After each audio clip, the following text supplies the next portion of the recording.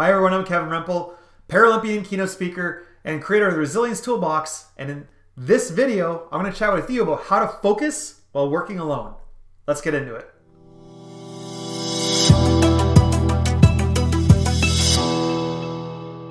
So one of the biggest challenges that we're all facing today is while working from home, trying to stay motivated, trying to uh, keep our momentum, and foster some sense of accountability in some ways if we don't necessarily have somebody beside us, uh, you know, to keep us in check or somewhere or something to be accountable to.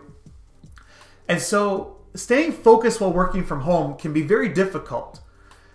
And when I was uh, finished playing sport in the Paralympics in uh, 2015, became a full-time entrepreneur, you know, creating some focus on my own, you know, pre-pandemic world, that alone in itself was challenging. And I to this day, or as of today, uh, I no longer have my roommate as well, who would um, kind of just keep me on point because I could look over and see somebody else doing something that would just make me think, well, if, if he's working, I need to be working too.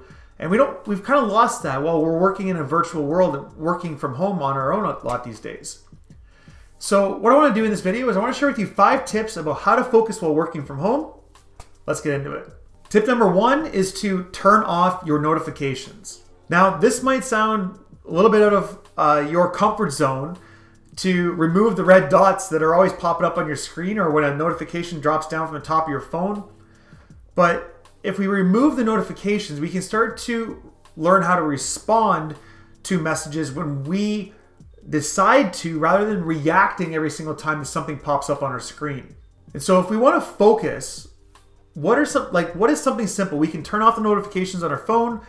Uh, there's a lot of email programs that have features where you can like pause your inbox so that emails stop coming in for you to focus on tackling what is in front of you at the moment. You can send them out, and some will allow responses to come in only for those messages that you've sent out while your inbox is paused. But simply turning off your notifications will give you some space that you're not going to be reacting to everything that comes in so you can be responsive and start to focus on your work. Tip number two is to put your phone on silent. Now, this builds on turning off notifications. Maybe you want to turn off notifications and keep your phone on or on vibrate because you may not be able to not answer the phone every single day. However, could you just keep your phone on silent so that again, you're looking at that when you choose to to respond to something, not re- not reacting every single time that something comes in. Now, if you've turned off your notifications, chances are you're not going to be having um, a lot of um, reasons to that your phone will um, be requiring your attention unless you do get a phone call.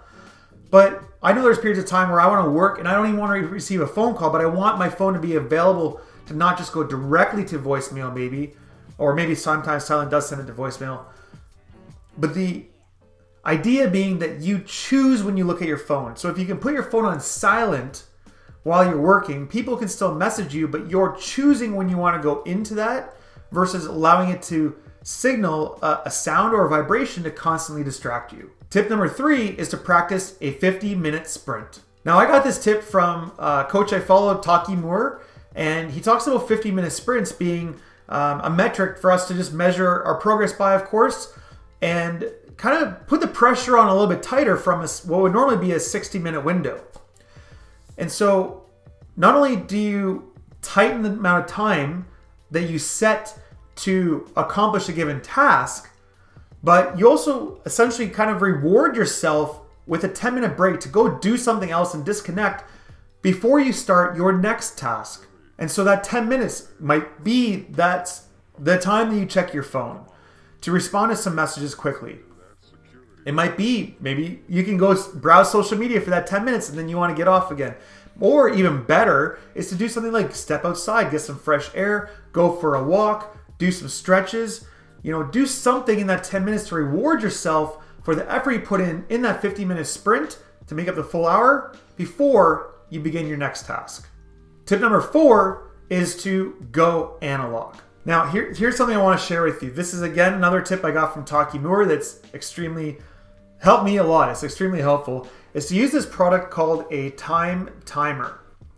And what's cool about this is if you go analog, it doesn't require you to have your phone on all the time. And you can set a visual representation, like I just talked about the 50 minute sprints. You can set a visual rep- representation about how much time you've got lot left. And you'll see this uh, countdown. I'm trying to remember which way this is going to look. And it's silent. It's, it's completely silent. There's no ticking. There's nothing. Um, you can set on the back a sound if you want the timer to a ding and go off at the end, or if you just want it to be silent when it's over. But if you go analog, what I find is when I put this right at the base of my desktop computer when I'm working, is that now I've got an, a visual representation. My phone is, my notifications are off, it's on silent. Even better, I could put it in my computer drawer or put it in a different room. And then in order to focus, all I'm doing is looking at my time timer and the visual representation of how much time I've got left with no sound for me to focus and get my work done. Tip number five is to leverage music. I never used to be one that wanted to work with music because I'll get too distracted thinking about the lyrics. And I know for some people they can only work with music, um, and maybe you can't yourself. But what I want to do is share with you uh, a tool that I found following Dan Martell um, as he talked about his uh, struggle with ADHD. Is that he uses a website called focusatwill.com. I discovered this website just recently and I've now I now use it like religiously every single day because the music is designed scientifically to help you focus. There are different channels you can pick from. I prefer listening to Alpha Chill, it's called, gentle funky beats. But there's other ones called Up Tempo, Classical Plus, Electro Bach, um, Acousto Plus, Focus Spa, and there's there's so many more. There's there's way more than that even. But this music is designed to help you focus. And if you were to pair this music, what I do is if you pair this music with all the other strategy discussed, turning off notifications, putting your phone on silent, doing a 50 minute sprint, using a time timer, going, going analog, and then the focus at will music for 50 minutes where you can set a timer on the website as well for it to ding just like this will at the end of your session is that I find this to be extremely helpful to focus when you're on your own.